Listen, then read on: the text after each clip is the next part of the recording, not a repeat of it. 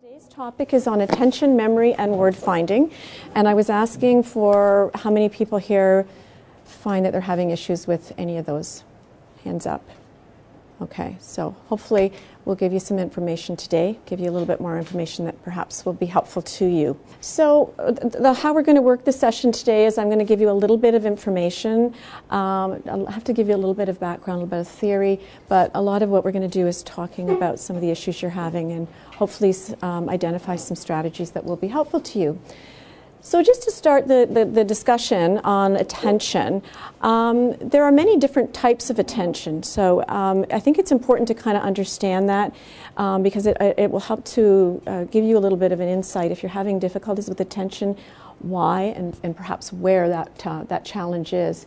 So, we, we break it down in terms of um, the five different areas, focused being the most basic type of attention. And uh, when we think of that, it's, it's just the ability to be aware and respond to stimuli. And we see that, you know, in young children when they're first, even infants, when they're first learning, you see that they'll hear a sound and they'll localize. So they're aware and they're responding, but it's, it's pretty much a, a very basic uh, type of a response.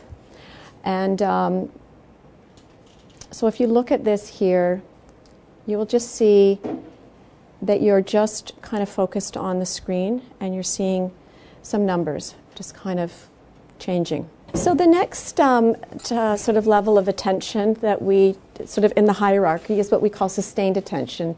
And that's our ability to focus or maintain attention over time uh, while we're doing some sort of an activity. And this really calls to being vigilant. You need to really be kind of um, focused on something. And an example of that would be um, something like this.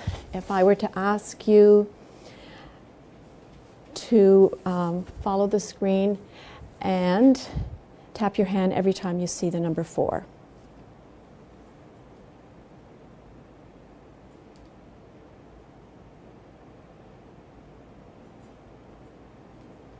Okay, so now you're seeing that. Oops, I'm just going to close this off.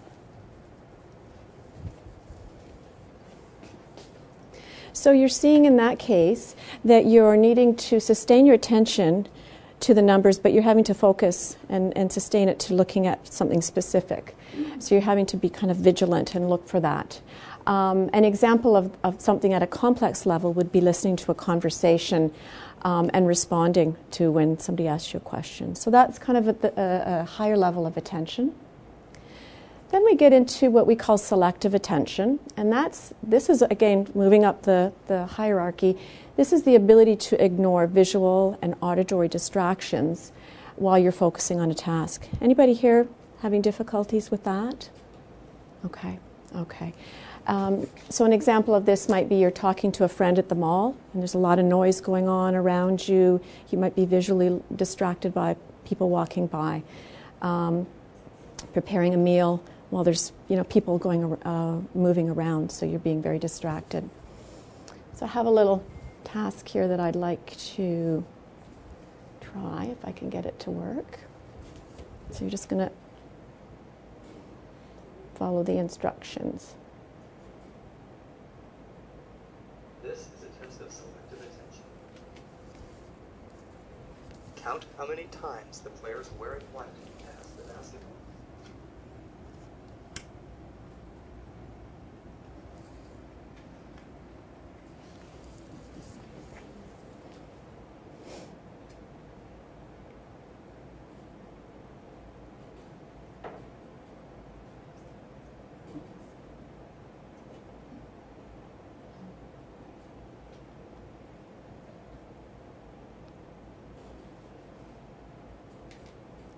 How many passes did you count? How many passes? The correct answer is 15 passes. Okay. But did you see the gorilla? Who here saw the gorilla? Okay. Some of you missed that? So you were really focused on those passes, right? And you were able to ignore some of that other piece. Anybody seen this video before? Video is from research Yeah. by Daniel Simons. Okay. It is available for use in talks, training, and teaching. Okay, so again, that's the ability to ignore the visual and the auditory distractions while focusing on um, a task. Uh, the next level, and again, we're getting into higher levels of attention now. This is what we call alternating attention. So, this is the ability to move between two different tasks. Um, you really need to be flexible here and be able to, to know where you kind of left off so that when you come back, you can pick up. So, an example of that might be you're doing an activity, you're reading a book, and then you're being interrupted. You come back um, and you need to know where you left off to pick up or you might be um, answering, or you might be talking to somebody, the phone rings, you pick it up, and then being able to go back and, and uh, find out where you left off in the conversation. So, again, more challenging. Is anybody here experiencing difficulties with that type of attention? Okay. So again, that can be it can be very challenging, and it, it is a higher level skill. And then finally, we get into what we call multitasking, divided attention. I'm seeing some head shakes here already. Yeah, this is this is, this is very challenging. So, this is the ability to respond and do two or more tasks at once. Um, and an example of that would be driving the car. So, you think about what you're doing when you're driving a car, you've got m- multiple things going on. You're doing motor tasks, you're doing um, cognitive, you're visually scanning your environment, you're doing multiple things. So, it's very, very challenging. So, those are the different types of attention and i don't know it, it, people are often sort of surprised they just they don't really think of it they just think of attention but it's really and, and, and individuals can have difficulties in more than one of these areas and it, it although i've described it as a hierarchy it can be um, attention for different kinds of material so people could have difficulty much more with visual attention um, than with auditory and, and so on and so forth so it's really trying to, to, to figure out where the difficulties are for you to be able to identify strategies. So, this is just a for fun activity here.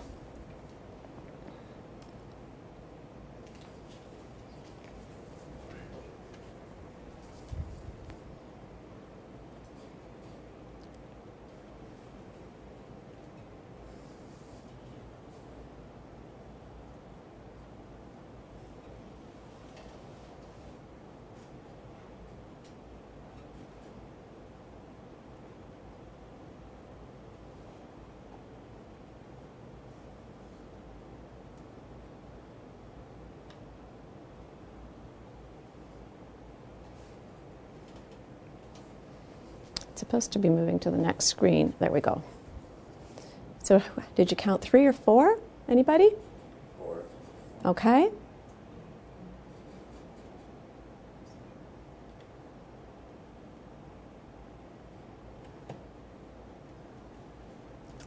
Why is this acting up on me here? Sorry. The answer is six. We tend to miss these little, um, the little words that are between Okay, we go for more of the content words. All right, so we're going to talk a little bit about memory now. So, um, when you talk, we talk about memory, there's a lot of different terms that we you'll hear. Um, so try to break it down and, and, and, talk about it in the context of a couple of different ways. But we talk about the stages of memory, sort of like how do we get information in and remember it. And so the very beginning stage really is attention, because if you can't focus on something, then it's not going to move into you know, you're not going to have an opportunity to move it into memory. Um, so we've been talking a little bit about attention. And then we talk about this encoding. So we talk about how we analyze material um, so that it, we can then make sense of it and it gets transferred into, um, into a storage area of our brain. So we, we analyze the material, we maybe break it down, we might think about it in terms of information we already knew or um, how it relates to other experiences in our life. And then we look at the storage. So it gets transferred then into storage, an area in our brain where we store information. And then it, we, we retrieve that information later. So when you think about it, there's a lot of steps involved in memory, and it's no wonder that we run into problems, okay? Because you can run into challenges at any one of these stages that can result in, in a problem with, with remembering, okay? When we talk about uh, when we talk about memory too, we tend to talk about short-term and long-term memory. Is that sounding familiar to you? Who here has difficulties with the short-term memory? Okay. Yeah. Anybody here having difficulty with long-term memory? Okay. Okay. It's not as common um, after brain injury. The, the short-term memory tends to be um, the area that people identify difficulty, um, and that's um, uh, so the short-term memory is more of those kind of you know, what did I do yesterday? What did I eat for dinner? A conversation you had. The long term memory tends to be more of that stuff from a long time ago, like where you went to school and who were your friends in grade school and, and some of those longer term memory. Um, so we tend to hear those terms described as well short term and long term memory. So just so you have a little bit of an idea.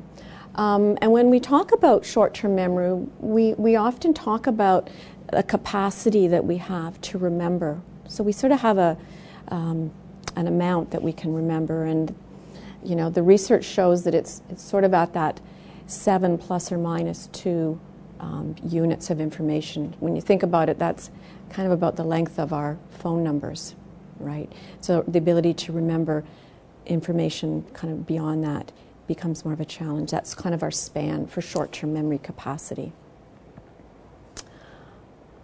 Okay, so let's talk a little bit about. So we, I think, when I asked if people were having short-term memory problems or memory problems in general, I think I saw a lot of nods that this is a pretty common, common issue for people. Okay, all right. So we talk about retrieval errors.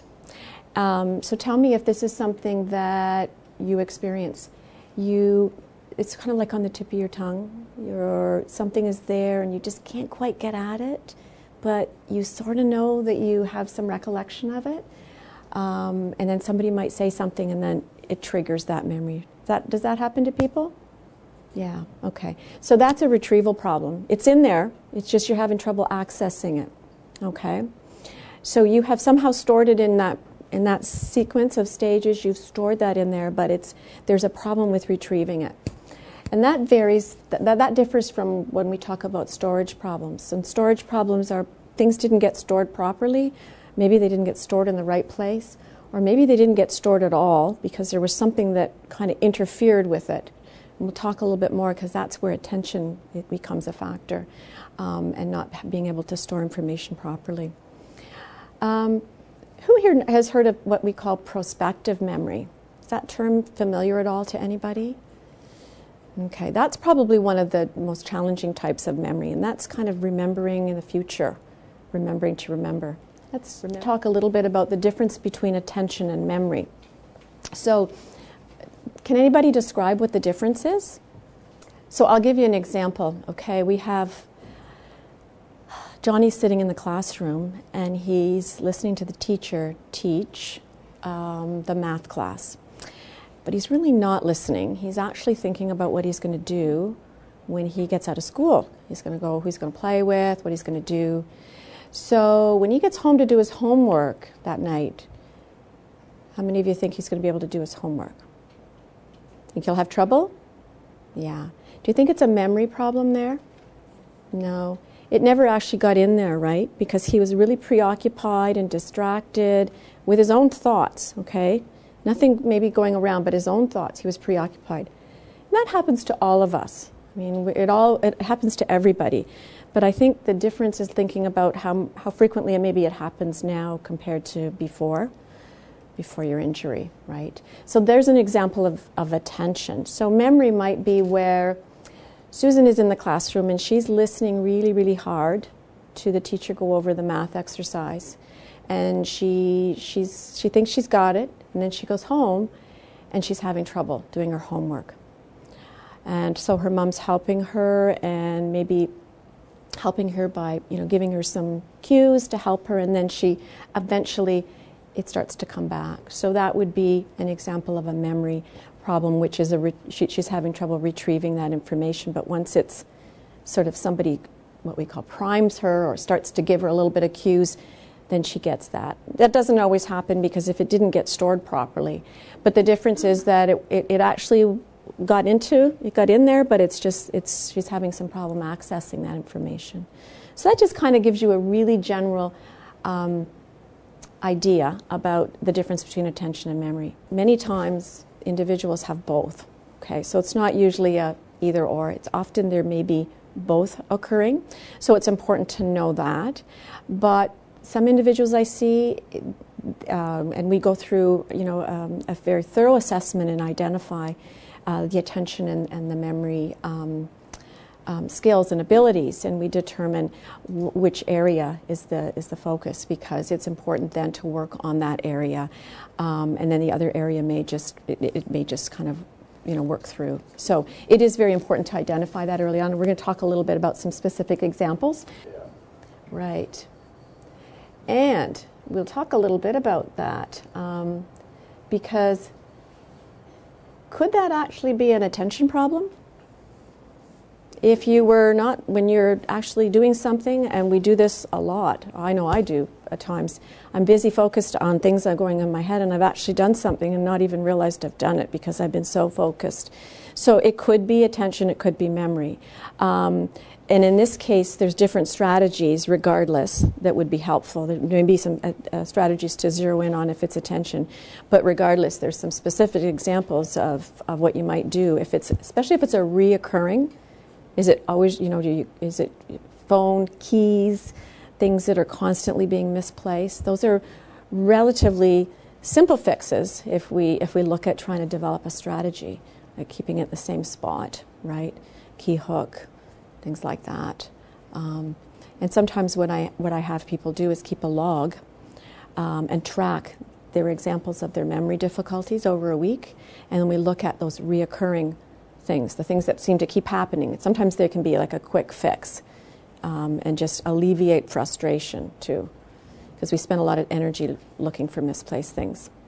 You know, all of these things we talk about, there is that range of what's normal I mean, we, we've all had difficulties thinking of people's names, thinking of the word, misplacing things. But I guess it's kind of looking back and reflecting on um, how different is it now from before? You know, is this, is this much more of a problem? And, and I guess sometimes too, not always blaming it on the brain injury, not always, oh, there's my brain injury again. You know, sometimes we do, we do have a tendency to do that.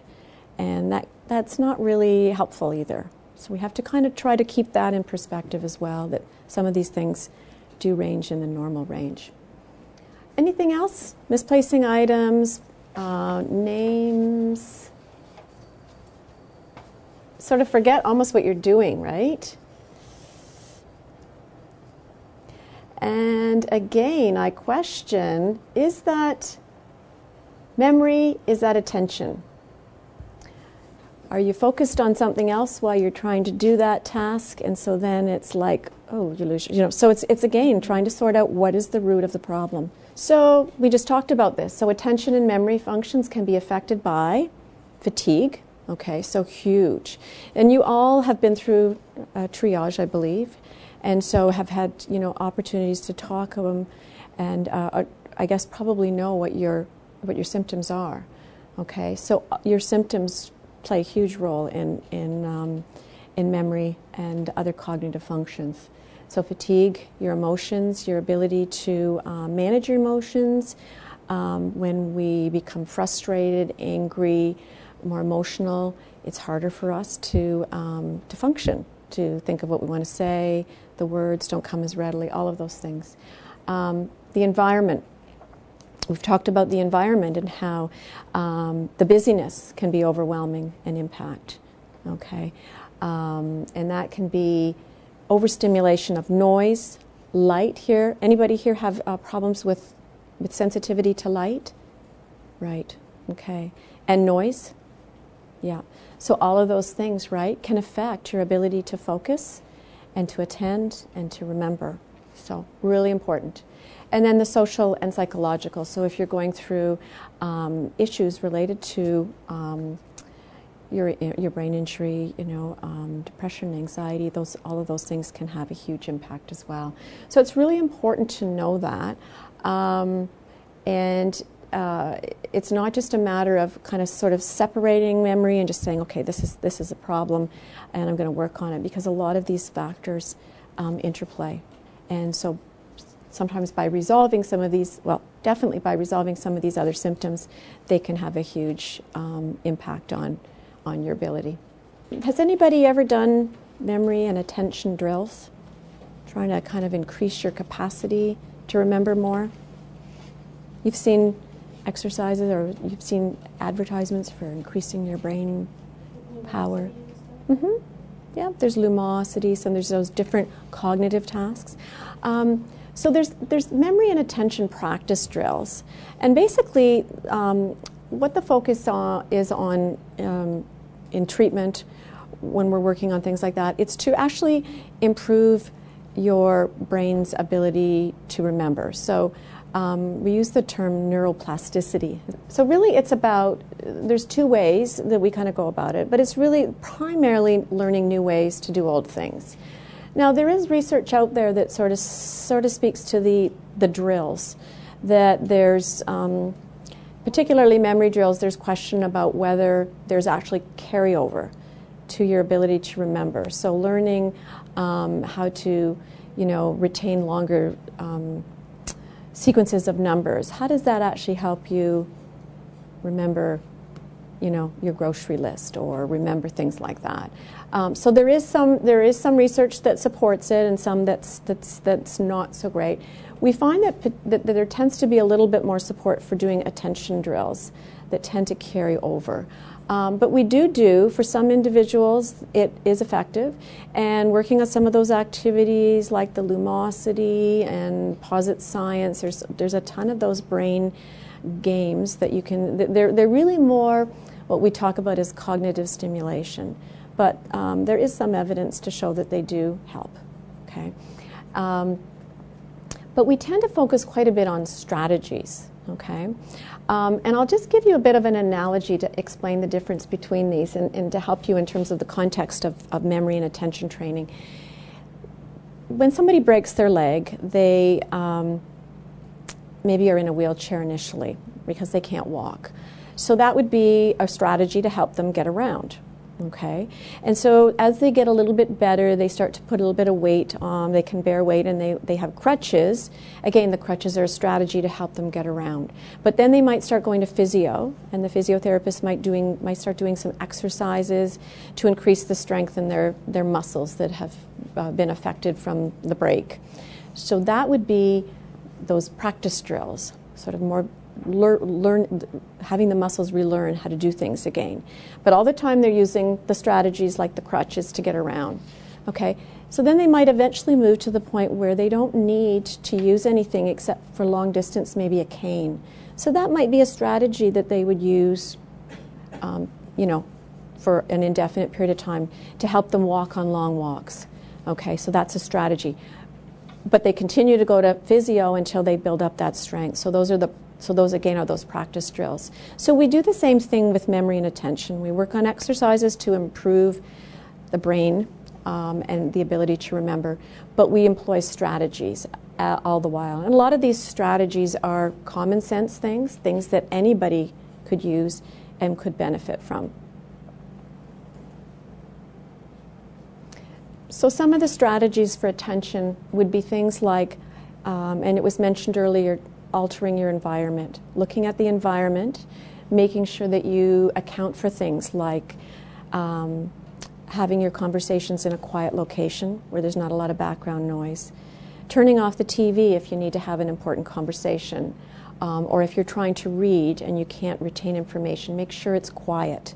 So, those are some environmental strategies that you can pretty easily put in place that will help you focus. Now, it doesn't always work. If you're out uh, in a restaurant, you can't control the environment. Uh, if, or if you're out in the, in the mall, you can't always control those things. Um, but when possible, it's really helpful to do that. Um, and it's really important to educate others about that piece. So making sure that your family and your friends are aware that you know th- these are huge issues for me, um, and maybe not going out to a noisy restaurant um, as a first step, but maybe going to a, quiet friend's house and just having a quiet, com- have a quiet evening and a cup of tea might be the route to go. Um, has anybody find ha, ha, has anybody found that that's a strategy that's been helpful to just try to control their environment a little bit? Yeah. How about earplugs? Anybody use earplugs? Sunglasses? Okay. Now, our audiologist would have some things to say about the earplugs. Um, earplugs are okay if they're an absolute, this is uh, like I can't function without, but prolonged use of earplugs really delays, um, it just kind of postpones. Um, it, it, doesn't help you to move into those situations where you can tolerate. So that's where uh, working to try to build up those filters or to tolerate to, to, to, tolerate some of those factors um, is important, and that's where working with your therapist can help you to do that. Um, so gradually working towards increase that. That's that kind of process training with the brain, getting the brain to relearn how to use the filters that used to work effectively. Okay. Um, consistency and routine in your schedule really important. So you know that you know if you have a big evening out. Um, and you want to be really focused and attentive and be able to carry on conversations with friends, you don't plan a lot of stuff before. So you talked a lot about that, I think, last week with Becky, and you talked about pacing points, and I think, correct? Yeah. So being able to pace out so that you don't run out of steam, and because when you're fatigued, your attention's not going to be as effective. So really planning in your schedule when you're going to have things happen so that you have success. Mindfulness. Does anybody know? Did Becky talk about mindfulness last week? About mm, being mindful? There's a there's a lot of uh, literature that supports uh, mindfulness meditation. Um, I'm not going to talk about that right now, but it, it really brings down to being in the moment, being kind of focused on what you're doing right now, being mindful. So that example that about misplacing your phone, being really focused when you're put when you come in the door and putting it down, and really being thinking about what it is you're doing with the phone at the moment, and trying not to think about. Um, oh, I got to get onto Facebook, and I've got you know thinking about other things. Really focusing on what you're doing at the moment um, is has shown to be very effective to help.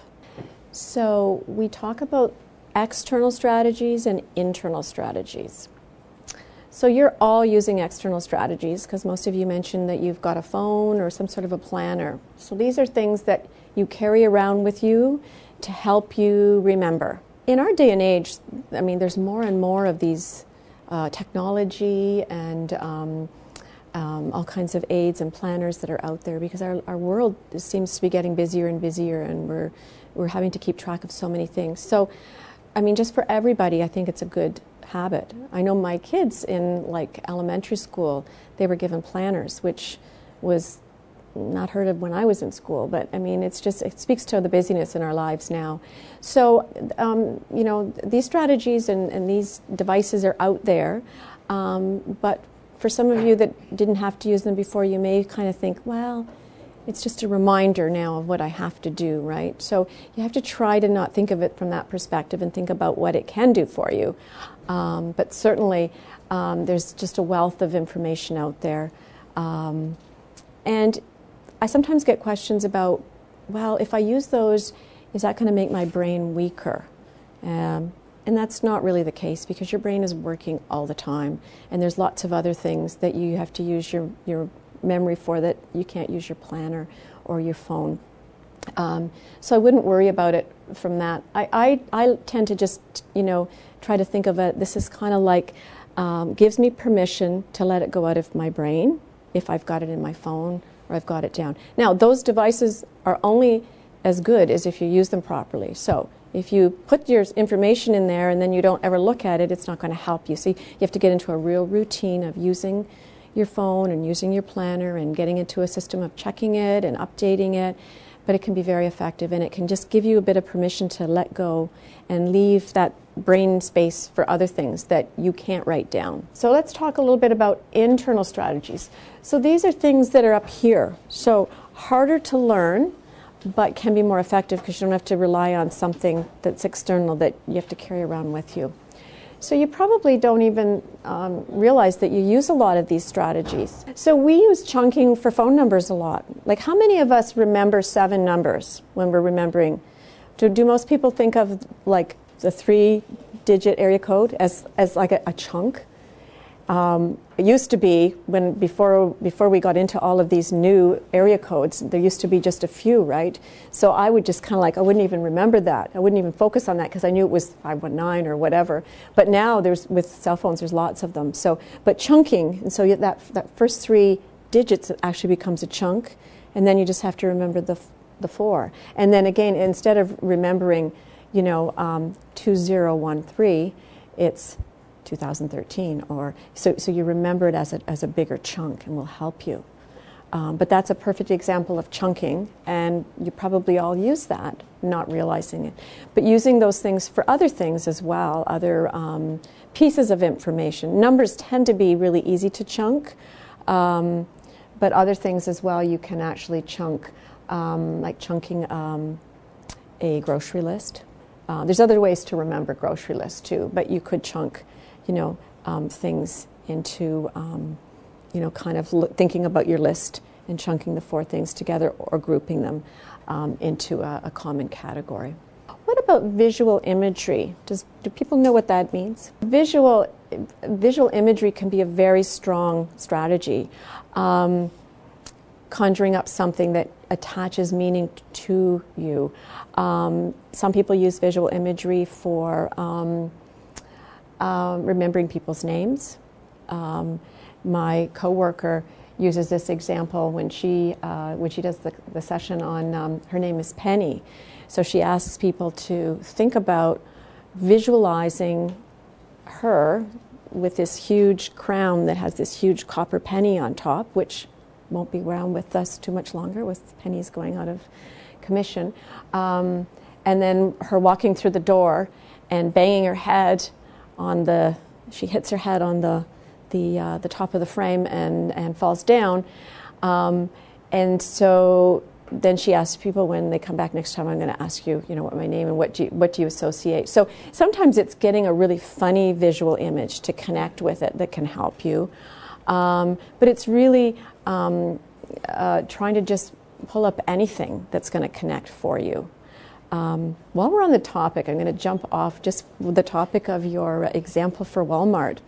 Um, the visual image is great. Um, has anybody thought of using their cell phone to help them do that? That's kind of a visual image that's actually captured, right? So, actually taking a picture of that. So, there's an example of a captured visual image, right? A digital image that can actually help you. And why not? I mean, as saying, we have our technology, let's, let's use it. And people don't think about sometimes how we can use these things in novel ways. Um, so that's visual imagery. So association, uh, it's kind of a, a related, but it may be more any kind of um, an association that you can make to connect something together. So, for example, say you're trying to remember somebody's name. So, if you can associate it with somebody that you know that has the same name, then you might that might help to form a connection. You might have to rehearse that. You, you know, um, kind of repeat that over in your mind.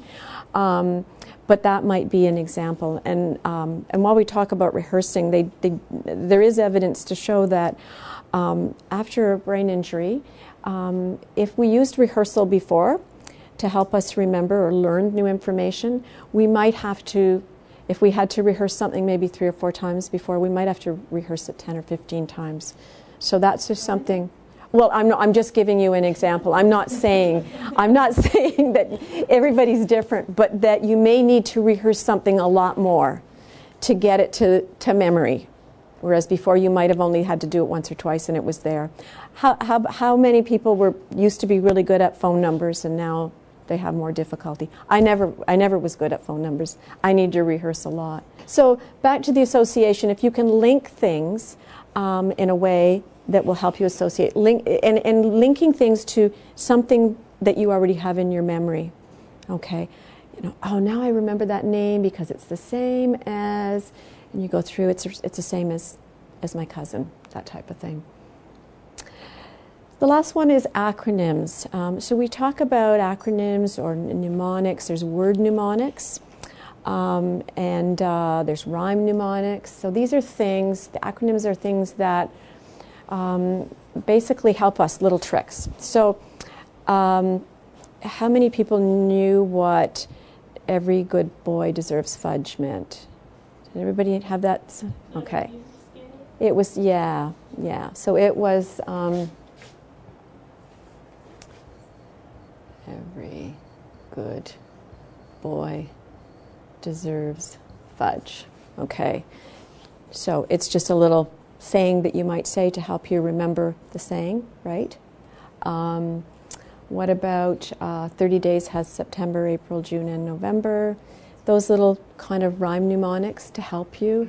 So, again, they're harder to learn, but they tend to stick with you forever and ever, um, and they can be helpful. So, what I'm going to do now is I am going to ask you to write down as many of those items that you can on your sheet.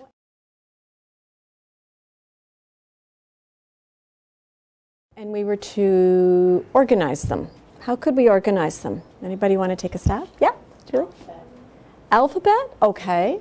So you could go through and uh, put them in the alphabet. All right, well, we're going to go through and do the alphabet is, is good. Let's go through and do the by category since we had a couple of people do that. So um, if we were to start with, oh, shoot, sorry, I have to do this. Um, first. I forgot. There we go. Okay. So let's um, let's put our food up here. What else goes over here then? The apples. Does anybody want to come up and do this? By the way, this is kind of fun with the smart board. Does anybody want to come play? No. Okay. Um, just thought. Um, all right. So we want the egg. Okay. What else did we say? The cheese has got to go over here. Okay. And okay, so let's get a couple of these things. The Coke. Okay. Oh, shoot. You're not behaving. There we go. Okay.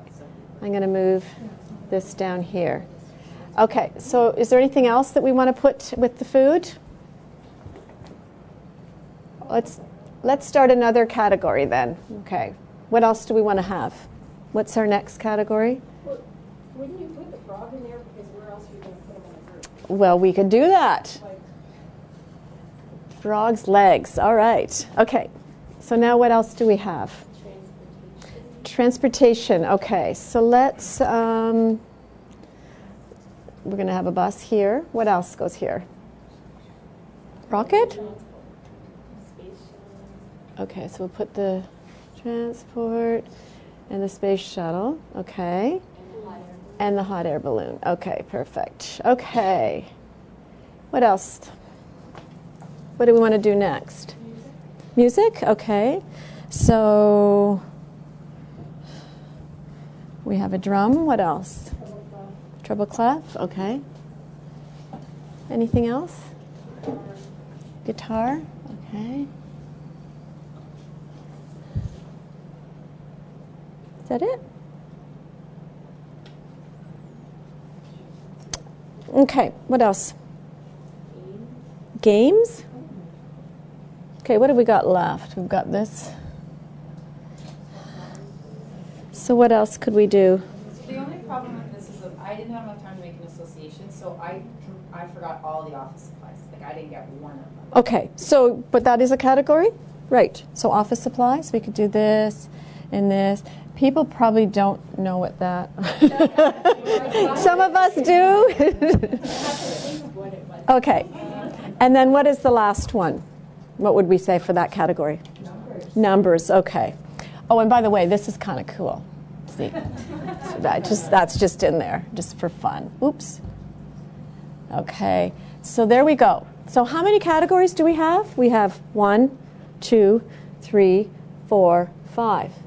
So we have food, musical instruments, office supplies, numbers, and transportation.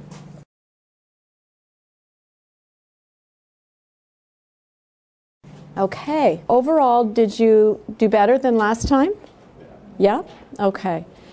Good, because if you didn't, then the strategy didn't work. the idea was that it did help. So, um, so you can see how grouping information, chunking it, or putting into more meaningful um, combinations can help you. So we had a couple things there. We had categories, We also had even, if we go back, we had location too, so locating things. Um, knowing how many items there were in total might help to be a cue to remind you and knowing how many categories there were and how many items maybe in each category. So there's different things you could have been, been doing even within the groupings of the categories to help you. How many remembered this because of it turning? Did anybody? Did that help? Yeah? For some people, just the interactiveness of it, because it was different, that might have stood out for people. So, um, anyway, so this is just an example to show you that you can your memory you can use you can use strategies to help you, and it's just a matter when you're approaching things to think about that. Okay. Any questions? All right. Let's go to. Um, we're going to talk about word finding now. Anybody here having problems with their words, thinking of the words they want to say? Okay. Yep. And here's an example. So you're talking and you suddenly draw a blank. You know what you want to say, and it's just you just can't kind of think of the word. Um, okay. Pretty common. Um, we talked about this a little bit earlier. We talked about how fatigue, how our symptoms can have that Im- uh, impact, um, how attention can enter into the picture. So if we're okay on a one to one, but as soon as we put ourselves in a mix of a lot of people and trying to focus, then we lose the train of thought or we can't think of the words. Okay, um, and so it's that it's that tip of the tongue phenomena. I know what I want to say. It's just I can't quite get it out. Uh, really, really pretty common. And again, we talk about okay, this did this not happen to you before? Yes, it happens to all of us. But it's kind of looking at the frequency with which it happens now and how much of an impact it has. Um, so the real technical term for word finding is anomia, and it's just the inability to come up with the names of objects, places, people. Um, and again, to some degree, it happens to all of us but you may be finding this as more of an issue now, and it may be interrelated. Although I've been talking about all these things today, like attention and memory, they're all interconnected. Okay, they all interrelate, and and and um, one, you know, you, you, you, can't really. We talk about them separately, but they all they all interrelate, and, and it's very uh, important to really understand that. Um, so, what are some of the characteristics? So, for some of you, you may have trouble find you know thinking of the names of people places and things and you may not have been that might not have been a strong um, area for you before but now it's even more of a problem um, sometimes there's just a hesitancy it's like you just need a little bit more time to think things through. And and when you think about it um, writing is just a, like writing and, and speaking are both expressive forms of communication. What people find is they may have more challenge with their expressive speaking ability because it's more spontaneous like it's more fast-paced in conversation where whereas when you're sitting and writing you usually don't have that same quite that same pressure. You might it depends on the situation if you're writing an essay for a test or something but often you have more time to compose um, and, and, think about it when you're you know sending an email or something like that than when you're having a conversation and you've got to really think on the fly um, so again, again, this, this, this, uh, the degree of this problem can vary from individual to individual, and, and it, it, you may have experienced this before. We all experience uh, word finding difficulties in different situations when we're under pressure, when we're, when we're more emotional. You know, thinking about getting up and giving that presentation and thinking of everything you want to say fluently, and you know, you're a little bit nervous and things like that. It can be more challenging for any of us. Um, so it's really important, I think, to remember that it's really all about getting that message in and out. Okay, and sometimes what happens is, and I work with individuals that they get so hung up on getting stuck on that word that they get distracted by it. It almost like they're, they're going to get that word, and by the time they get the word, the conversation is moved on, and everybody's talking about something else, and then they, they've lost the focus because they're, they've been distracted by their own thoughts. And so we really try to encourage to try to just move forward with it and not get sort of too hung up with it because it's really about having a, an effective conversation or communication with somebody, right? and you know, in, in reality, we're probably a lot more aware of it than the other people are. And so, a better strategy is to just try to move forward. You know, uh, maybe describe what it is that, you, that you're looking for. Um, ask the person for help if you're okay with that. So, to talk a little bit about uh, things that, uh, different strategies, so it might be um, things like um, being able to describe the words. So, getting, you know, the, our English language has lots of um, words that we can substitute. Um, not things like names and things like that, but if we're stuck on a word, trying to come up with another word that you can use instead of, um, or maybe just describing it. So, you know, I'm trying to think about um, say the milk, you know, something you drink that's white, that comes from cows, things like that. So the whole idea is just being able to to um, try to to come up with a word that will. Again, this really is dependent on the situation and what the purpose is. So I mean, if this is something that's very important to you and you want to be able to focus on, I think maybe that's that's what we're speaking about. You really want to focus on that issue and that that aspect of the of the communication. Then that's um, then that's that's that's perfectly fine too. I think it's it's it's though in the the moment being able to um, being able to have a successful conversation and not get uh, to distracted to the point where you lose the focus of the conversation entirely. Um, pointing, gestures, pantomime are just other kind of examples of things you could use when, when in the moment you're, you're kind of really stuck on the word that you're trying to think of. Um, so this, you know, speaking about what others can can do to help, and this is really, I think, talks a little bit about what you're saying. Really having a clear understanding with with um, your um, uh, your loved one or your family member who who is going through this, and understanding how they would like to deal with it. Some some individuals would prefer that they, they want to get the word, so that's fine. Others may be okay with um, some assistance and somebody giving them a cue uh, or maybe giving them the word because at that particular moment, really what they do, they want to do is get that that story out, and so getting hung up on that one word. So it's really important to have that um, um, clarify what assistance you can provide to your loved one um, and what it is that they would like to help to support them in um, in moving through um, the challenge of the word finding. Um, so I just brought a, a, a few little um, highlights of some websites that um, some of you may already know about some of these, but again, I think a lot of you probably know about Lumosity. These are just a few of the websites that we have found kind of um, interesting for working on building vocabulary and uh, word finding. I'm not going to say that this is like recommended therapy for word finding, they're just activities you could do. This one in particular I really like. Uh, has anybody heard about freerice.com? So it's kind of a neat, um, it's kind of a neat feel good uh, activity. So um, we've done research and it, and it, and it is legit. Uh, but basically, what you do is you have different levels. It goes up to level 60. And um, I would tell you, don't go to level 60. It's really challenging. Um, start, start, at a level, like start at level one or start wherever. And um, basically, what you do is you go through, and teacher means the same as. Anybody give me the answer? Instructor, okay. So, it should load here, hopefully. Hmm, it's being difficult. Oh, so there we go. We get some rice in a bowl. Okay, so next one basic means the same as.